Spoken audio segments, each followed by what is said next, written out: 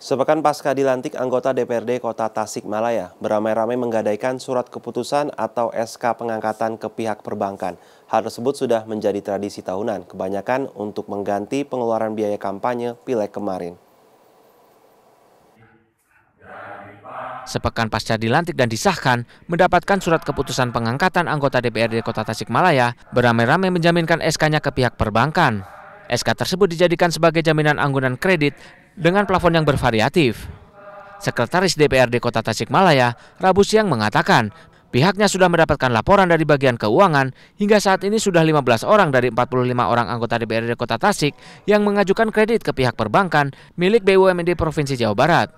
Mereka yang mengajukan kredit berdasarkan rekomendasi persetujuan Sekretaris Dewan, namun besaran plafon bervariatif yang rata-rata mengajukan pinjaman ratusan juta rupiah. Diakui Sekretaris DPRD Kota Tasik, hal tersebut sudah menjadi tradisi rutin tahunan setiap terpilihnya anggota DPRD baru. Dari 2019 tanggal tanggal 15 orang katanya yang sudah mengajukan kredit gitu. Hmm. Mungkin ya 35 persen atau 40 persen lah yang sudah mengajukan. Itu mayoritas anggota lama atau baru pak? Ya atau keduanya ada? Keduanya lah. Keduanya ada ya. Keduanya ada. Kalau yang seperti itu memang terjadi pak ya setiap setiap tahunnya pak setiap tahun terjadi seperti itu.